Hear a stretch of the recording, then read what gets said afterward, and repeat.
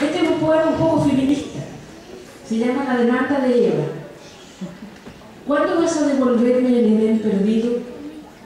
¿Cuándo me darás un compañero? No un Adán cobarde y tímido que por salvar su hombría me condenó a mí al fuego. ¿Cuándo me darás amor verdadero?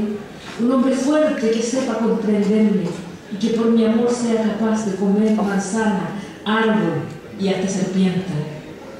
Cansada estoy de que me juzguen culpable.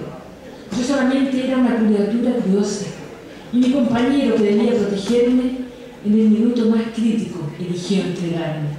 Porque es cómodo, conformista y complaciente, jamás hubiera pensado por sí mismo y no hubiera reparado la voz de la serpiente, no por virtud u obediencia, sino por egoísmo.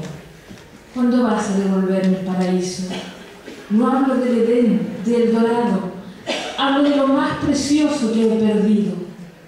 Hablo del corazón del hombre amado.